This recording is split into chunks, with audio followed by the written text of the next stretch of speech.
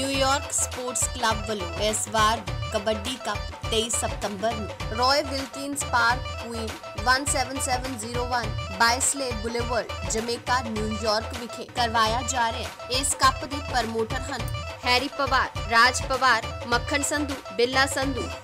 कुलदीप सिंह, रवि संधु ਦਾੜਾ ਸਿੰਘ ਬਿੰਦਰ ਵਾਸੁਦੇਵ ਰਾਜ ਚੰਦੀ ਸਰਬਜੀਤ ਸਿੰਘ ਵਿਨੋਦ ਕੁਮਾਰ ਬੀਰ ਜੀਵਨ ਕੁਮਾਰ ਰਾਣਾ ਢਿੱਲੋਂ ਗੁਰਪ੍ਰੀਤ ਚੀਮਾ ਕੁਲਵੰਤ ਦਿਓਲ ਅਤੇ ਕਾਬਲ ਸਿੰਘ ਇਸ ਕਬੱਡੀ ਕੱਪ ਦੀ ਵਿਸ਼ੇਸ਼ ਮੀਡੀਆ ਕਵਰੇਜ ਆਪਣਾ ਪੰਜਾਬ ਅਖਬਾਰ ਅਤੇ ਆਪਣਾ ਪੰਜਾਬ ਐਨਆਰਆਈ ਟੀਵੀ ਵੱਲੋਂ ਕੀਤੀ ਜਾਵੇਗੀ